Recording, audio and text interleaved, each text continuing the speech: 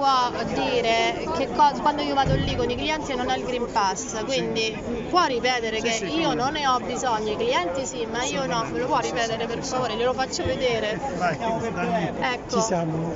Allora, eh, sono l'avvocato Fusillo e assisto le persone vittime della normativa sul Green Pass. Per quanto riguarda i musei, ma tutte le attività previste dal decreto legge 105, la norma prevede la necessità del Green Pass per gli utenti, non per quelli che lavorano all'interno delle attività.